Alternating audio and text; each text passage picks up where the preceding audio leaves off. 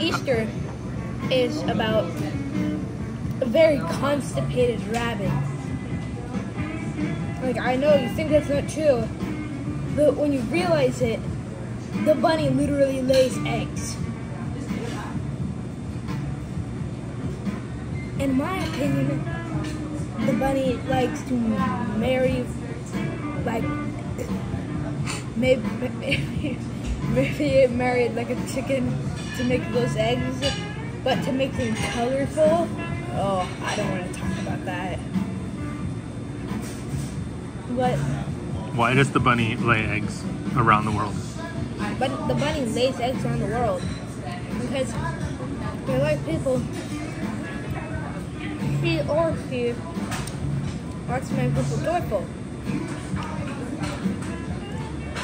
And then what happens is that everyone gets super joyful and happy. It's really hard for the bunny, so the only two things it can do is just poo and, and pat on the back.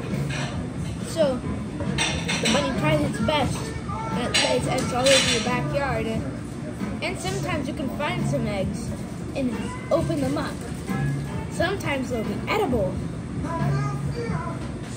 So you're eating bunny poop? No, yeah, basically. But you, you, well, the bunny is a, a very rare, well, it's a very rare species of bunny. Uh, it's called the candy bunny, which lays plastic eggs because it's so constipated, and it has a secret thing inside. And here's how you tell if it's a very constipated, like very, very, very constipated one. If it has like a a dime in it,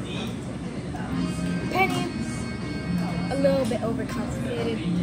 D- nickel, a little over over constipated. Dime, pretty really constipated. Quarter, like I do not want to talk about how constipated that will be. And Thank, thank you.